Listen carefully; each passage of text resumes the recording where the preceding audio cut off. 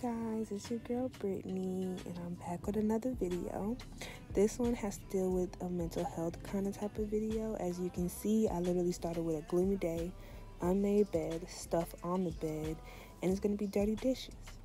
I'm really going to show you guys how you can cope with anxiety, panic attacks, and whatnot when you do not feel like getting out your bed. Because as you can see, me in this video is in my bed. So, starting off, I'm gonna show you guys how the anxiety attacks, panic attacks usually go for me, where I'll tend to have to de- breathe deeply. I'll start shaking obsessively. I'll usually feel a lot of emotions. I'll overthink a lot. And this is literally in the bed. Like, I just cannot get up and move. So, first things first. So, usually I like to sit in silence, but silence is not always good. So what I'll usually try to do is get some music going or playing games. Usually I'll find any game. I'm into Sudoku. As you can see, when I open my iPad, I was playing the ant game.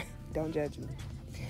But um, with music, I go into more of, I would say more of a frequency meditation type of music, usually because those are the ones that normally calm you down.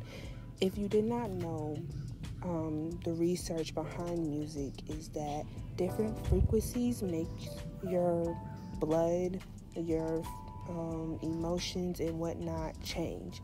So, if you notice, music is a big part of a lot of people, and you notice certain music that they listen to, okay, certain music that they listen to plays a big part and role into their identity.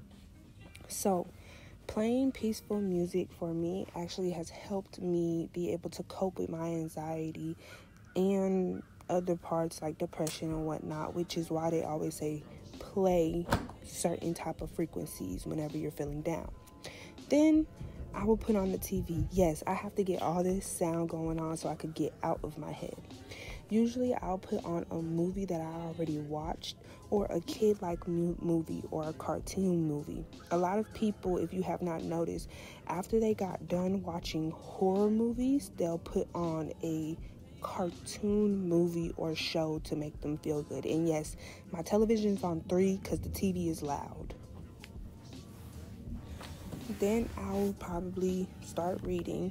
Usually, when you read, you get lost into the book you I'll read books that get me going. So I'm more of a person who likes to read self-development books. This book that I was reading is one of the oldest books that I have, which is I forgot which book that was. Hold on, I could think.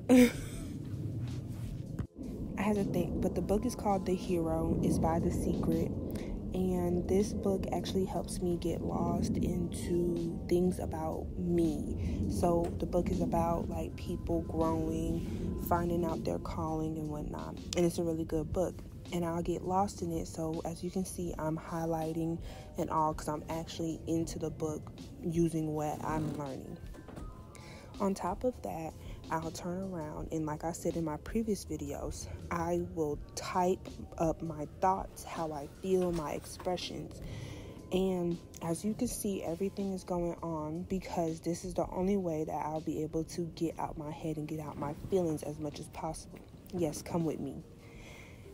When you are expressing yourself, you want to get down and deep. So from the way how you feel. Why do you feel like you're overthinking? Why are you feeling like this? What's going on with you?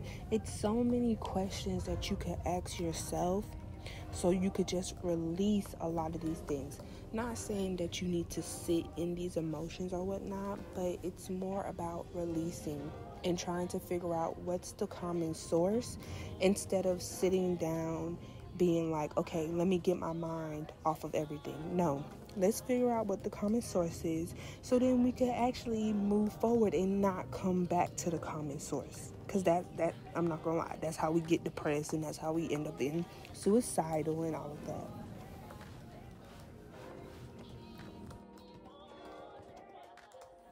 And sometimes even with writing, when you're expressing, you could actually not only just express, but you could actually write affirmations or express yourself highly of yourself when you do feel these ways and you're done expressing how you feel about a certain situation, thing, or what you're overthinking about.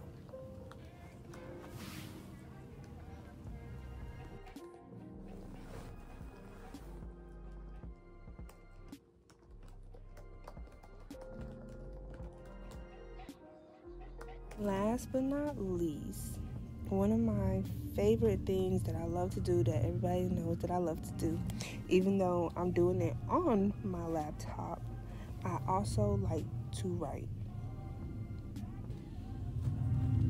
So, journaling, actually writing out how you feel, writing out your expressions, writing out positive affirmations is a big thing but also writing what you're grateful for, what you love and appreciate. Because when you sit down and understand, like sometimes your anxiety um, and panic attacks are because of things that you want probably now or what you have dealt with in the past that no longer is dealing with you, you usually need to focus on the present. And how do you focus on the present? Is being grateful for what you are, what you have right now which is one of the biggest things. Well, that is all, you guys. Thank you guys for watching. I will see you guys next time. Bye.